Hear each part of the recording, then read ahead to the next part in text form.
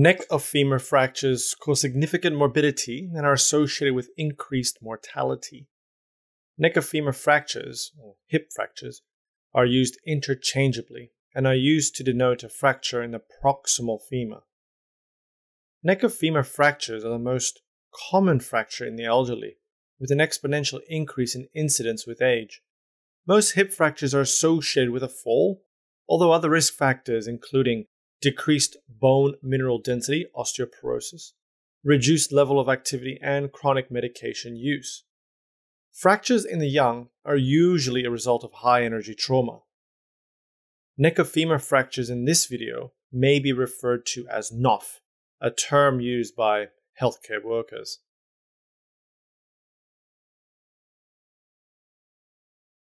Let's first talk about classification.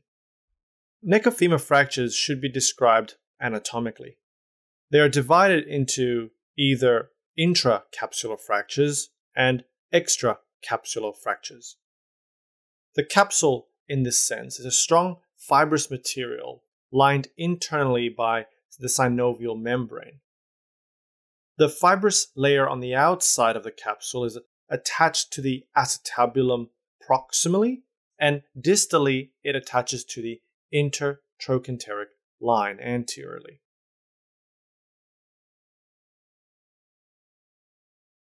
And therefore, we have intracapsular fractures, which occur within the joint capsule, proximal to the intertrochanteric line.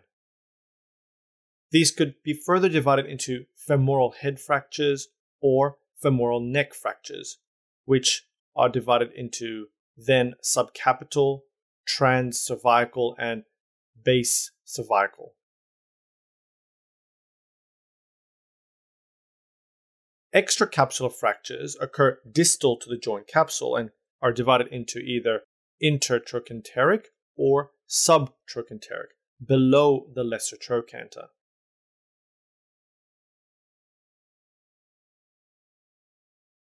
It is then important to describe the fractures as being displaced or undisplaced, as blood supply may be affected.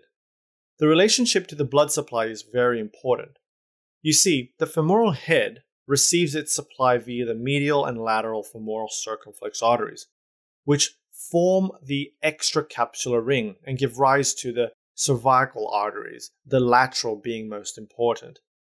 There is also supply via the intraosseous nutrient vessels and the ligamentum teres. Displaced intracapsular fractures disrupt their blood supply and have a high rate of avascular necrosis, which is basically bone death of the femoral head, as well as what's called non union, when the bones don't join up together eventually. On the other hand, extracapsular fractures maintain the blood supply to the head, thus reduced risk of avascular necrosis, and these fractures normally heal well.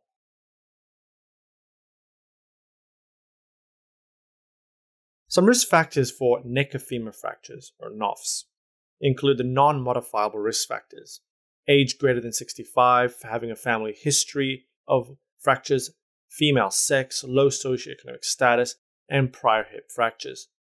Modifiable risk factors include the medications that the person uses, such as thyroxine, frusemide, proton pump inhibitors, and sedatives, because they increase the risk of falls. Other modifiable risk factors include osteoporosis, falls risk, reduced level of activity, and vitamin D deficiency.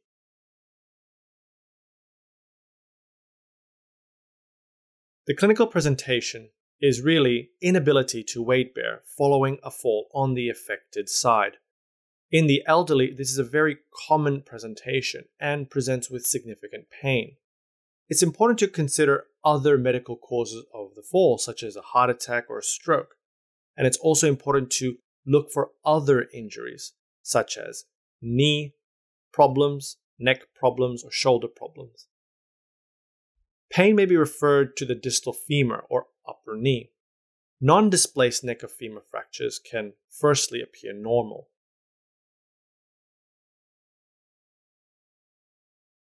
Displaced neck of femur fracture, on the other hand, the leg will be shortened, externally rotated with abduction.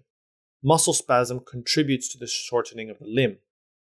Whereas if you have a posterior dislocation of the femur without a fracture, you will have shortened leg, internal rotation, and adduction, adduction. Straight leg raise and hip movements are globally inhibited by pain. Neurological state is important to assess.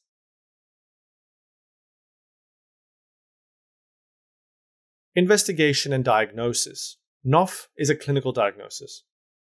X ray is important to gain further information to classify the fracture. Here is a normal X ray, and here is a fracture of the left neck of femur. It is a subcapital fracture.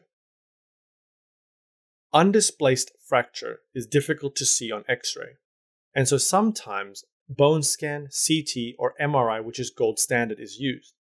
It's also important to look at blood tests, specifically screening for osteoporosis, such as vitamin D and calcium.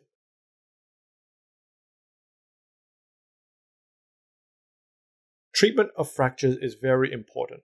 Early surgery within 24 to 48 hours is prudent. This allows early mobilization and rehabilitation, which speeds functional recovery and decreases the risk of other problems such as pneumonia, skin breakdown, deep vein thrombosis, and urinary tract infections. Patients with comorbidities, however, have an increased risk of mortality. Therefore, surgery may need to be delayed.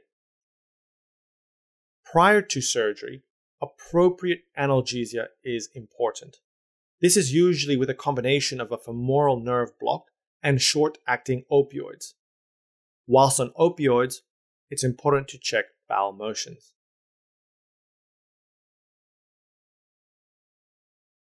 For intracapsular neck of femur fractures, if they're undisplaced intracapsular fractures, you treat by early mobilization with analgesia, but obviously surgery is done by internal fixation with either cannulated screws or dynamic hip screws. Displaced intracapsular fractures are treated by hemiarthroplasty. Total hip arthroplasty can be used if symptomatic pre existing arthritis is present, or with those who have a few comorbidities and are actually high functioning.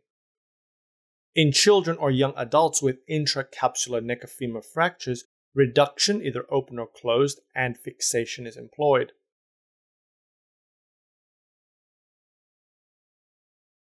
Extracapsular neck-femur fractures if they're intertrochanteric fractures, usually a sliding or dynamic hip screws are used and a plate system following a closed reduction on a traction table.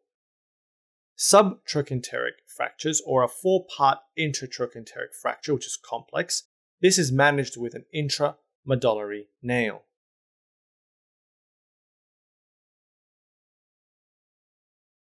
Complications of neck of femur fractures include many things, Firstly, death, especially due to increased mortality in the elderly. Avascular necrosis of the femoral head, as mentioned, specifically in an intracapsular displaced fracture. A dislocation of the hip surgery, the arthroplasty.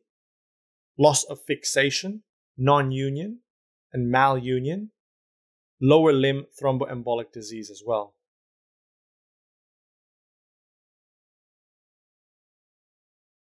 So, in summary, femoral neck fractures are very common in the elderly and is usually a result of fall in the setting of osteoporosis. Neck of femur fractures can be classified into intracapsular fractures or extracapsular fractures. Early surgery is important to allow early mobilization and prevent displacement.